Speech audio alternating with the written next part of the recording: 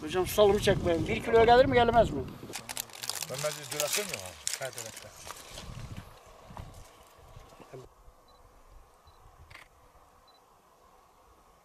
şira oranı, tatlılık oranı, aroması ile e, altın değerinde bir ürünümüz. E, hasatına başladık. E, sofralık ve e, şıralık olarak kullanıyoruz. Ama genel çoğunlukla şıra ürünleri kış için hazırlık yapıyoruz. Cevizli sucuk, pestil, muska, samsa üretiminde kullanılıyoruz. Pekmez yapıyoruz ve yıl içerisinde tüketimi yapılıyor.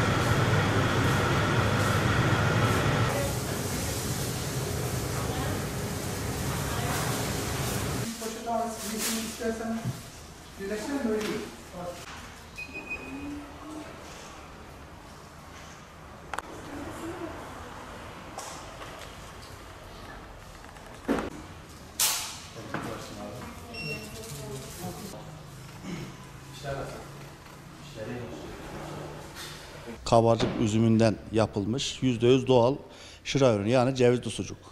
Bunu doktorlar bile tavsiye ediyor. Yiyin diyor, sağlıklı beslenin diye. O yüzden tüm herkesi bekliyoruz BTS evine. Bağlardan getirmiş olduğumuz üzümleri masere dediğimiz tesisimizde pekmez haline getiriyoruz. Pekmez haline e, gelmiş e, üzümlerimizi e, hazırlanan kabuklu cevizlerimizi kırdırıp ipe diziliyoruz ilk, aşamasında. Daha sonra kurutulup sucuk aşamasına, cevizli sucuk aşamasına getiriyoruz. Tekrar pekmez ve cevizin bir araya getirerek cevizli sucuk e, üretimine başlıyoruz. 12 ay e, yap, ürünlerimizi soğuk havada bekleterek, e, pekmez, pekmezlerimizi soğuk havada bekleterek e, üretime devam ediyoruz. Tabii e, şehir içi, şehir dışı, e, dış ülkelere de e, şeyimiz oluyor, satışlarımız oluyor.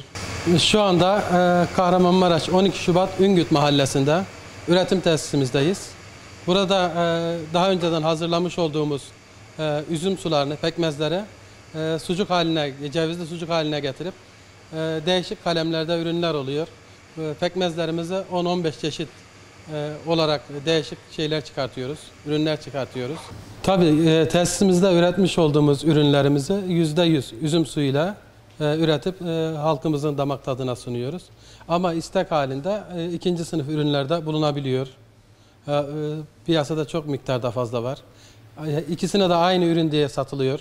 En büyük sıkıntımız zaten e, karışık ürünlerle doğal ürünlere aynı ürün diye satılması. Tabii bu bizim e, ürünümüz, şıra ürünlerimiz Kahramanmaraş'ta yatsıcalık olarak misafirlere çerez yanında ikram ediliyor. Özellikle kış sıcak so- soğuklarında insanları ısıtıp yanında çerez olarak kullanılıyor.